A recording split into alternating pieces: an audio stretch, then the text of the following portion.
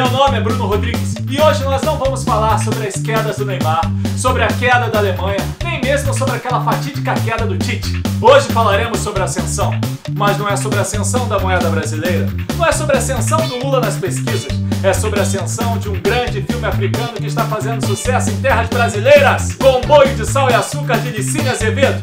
E é claro, meu encontro com a fantástica, queridíssima, super talentosa musa de todos nós, Dona Ruth de Souza.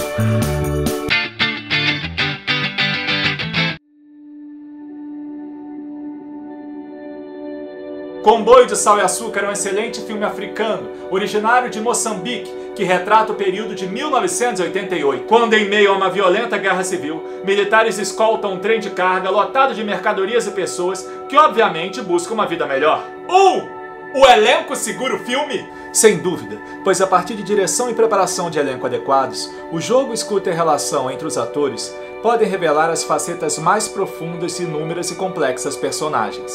2. O quarteto, direção, roteiro, direção de arte e fotografia conseguem contar bem a história?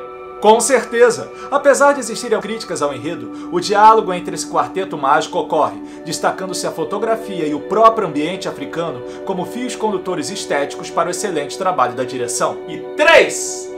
Por que, que o cinema brasileiro, que necessita de tanta força para poder catapultar suas próprias produções, está falando tanto de um filme africano que está aqui fazendo sucesso em nossas terras brasileiras? Pelos fatores referência e ancestralidade.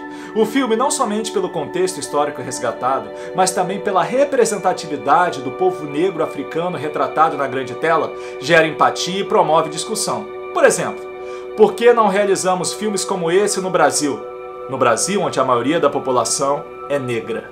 Confesso que eu adorei o filme indico para todos vocês. Me senti representado na plenitude. E é claro que não posso deixar de agradecer ao meu grande amigo Cavi Borges. Fui convidado por ele para assistir essa pré-estreia que foi fantástica, teve um debate, rolou um bate-papo muito interessante com o diretor, com parte da equipe técnica, alguns pensadores sobre cinema contemporâneo e é claro que eu pude encontrar ela, a nossa musa, referência, representatividade máxima do que é o artista negro em território nacional.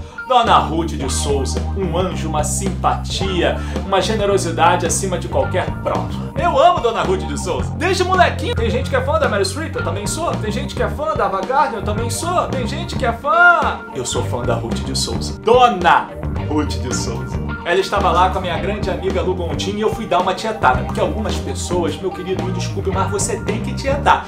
Com elegância, educação, parcimônia, certo bom senso, não faz mal a ninguém. Mas dá aquela tietada básica que essa pessoa merece, gente. Pelo amor de Deus. É Dona Ruth de Souza. Não é pouca coisa não, meu filho. Imagina que ela não passou pra gente poder estar tá aqui. A gente, todos nós artistas, mas... Os artistas negros, né? Tocam um pouco mais fundo da nossa alma. Amigos, muito obrigado por assistirem. Curtam, se inscrevam e compartilhem. E vão ao cinema, hein? Assistam os filmes que estão passando nos cinemas, principalmente se for filme brasileiro ou filme africano. Vamos dar uma moral, né não? Ah, e se for distribuído pela Libres, então, meu amigo, entra no cinema e assiste sem medo. É qualidade garantida. E não se esqueça jamais! Faça o bem para os outros que ele volta para vocês também, tá certo? Valorize nossas referências sempre. Dona Ruth de Souza, Dona Léa Garcia, né? E por aí vai. A gente tem que valorizar quem veio antes da gente. Sempre. Beijo no coração, galera!